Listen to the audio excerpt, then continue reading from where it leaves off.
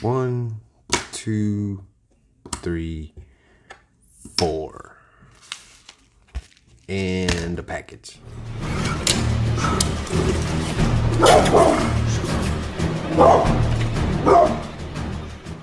All right, guys, gold under spot. Let's get there. Uh, there's a couple ways. There's three really ways that I take advantage of it. Number one, I'm going to say the easiest way. I'm going to give you two of them. The easiest way to do it.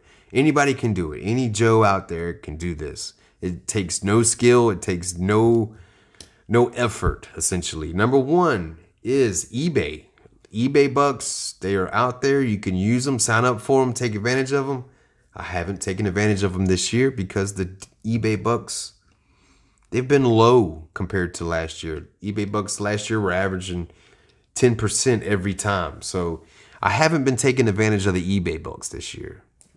And there's several videos out there where you guys can go ahead and figure out how to sign up for eBay bucks. But that's one way. The other way is you can use your credit cards not to buy bullion, okay?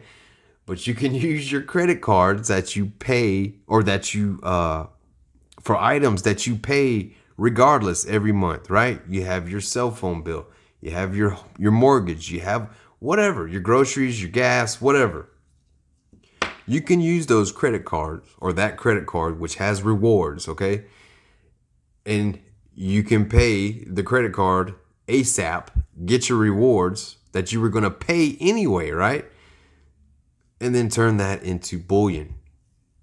Pretty simple, pretty easy as long as you're responsible. But like I've said in the past, I don't agree with paying uh, paying for bullion with your credit cards. I just don't do it. I've done it before, but I paid it off immediately because it was something I had to have. But I don't suggest you do it. Now, that leads me to this. I picked up the four American Gold Eagles right here, and I paid somewhere between 170 and 180. I don't have the exact math on it, but I want to say this V75 Silver Eagles were going for 83 a piece. And I want to say I got it shipped to the house for 89. So I got two of them. So what I ended up doing is I traded online with a dealer and he gave me four American Gold Eagles plus $100 cash. So you can't even get one of these for that price, right? And so what I ended up doing is I contacted Guido after I got that $100 cash and I bought this American Gold Eagle on the spot price dip. And I paid $480 for that. And I took that $100 cash from the V75 deal and I put it towards that quarter ounce Eagle right there. So I got that for $380. So that's gold under spot there too.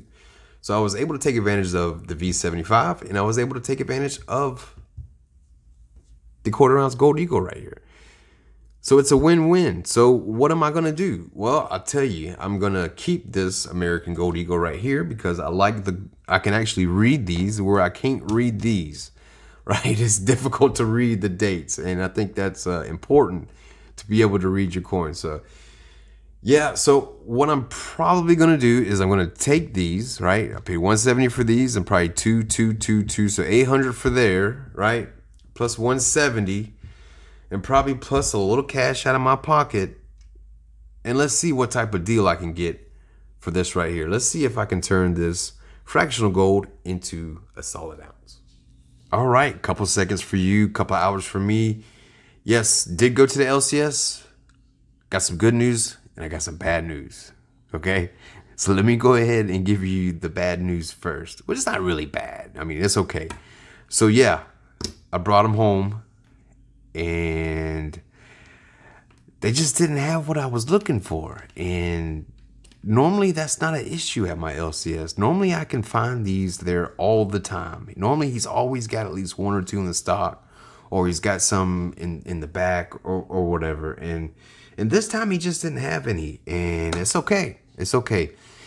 You know, it's, it's I still have the gold. I still have the exact amount that I put into it which is a little over $900 and probably the value of this is probably if I just sold it outright peer to peer it's probably $1600 in value right there so that's not bad that is well under spot that's almost half under spot for gold, and you can't beat that.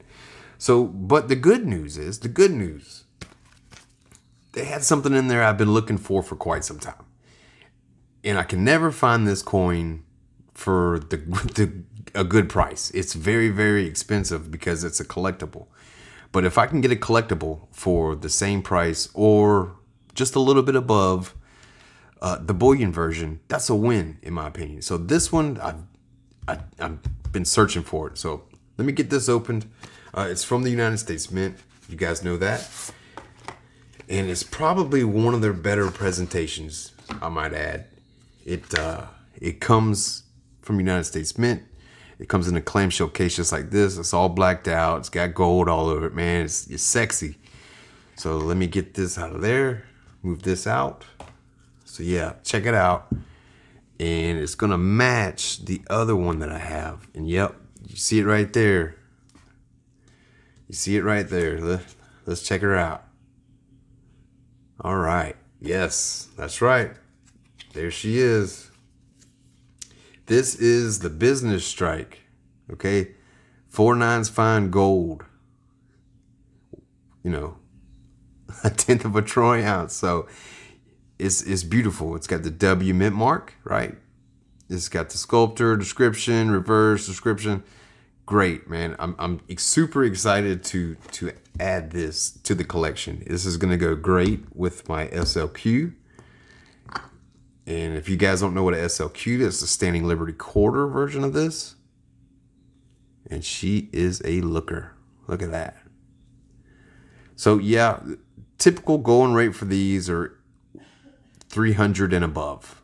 And there's no way that I wanted to pay that for for this coin. And I didn't today. I didn't. I want to say it was 240 to 260 somewhere in there somewhere in there. And that's a fantastic deal. I will take that for a four nines fine gold any day. Any day for this one, just this one, right? Uh, it, it, it's great and it's going to go well with, like I said, with the Standing Liberty design. Like this one. Now, that just leaves one more that I got to get. So I got to find the, the half ounce, right? For the half eagle. And those are even harder to find than the SLQs. They actually had one more of the SLQs in there. But uh, yeah, I did come back home. I came back home uh, also with the cash. So he, they took my name down, my number, and put me on the waiting list. So they said, you know, hey, as soon as someone comes in with one, I'll be the first one that they notify. So that's awesome. I'm, I'm really looking forward to that. Uh, it's going to be to be continued, guys. So be patient, uh, and uh, I'll bring it to you as soon as I get. That's going to do it for today. Really appreciate you guys liking, watching, subscribing. And don't forget, guys, keep grinding on your stack.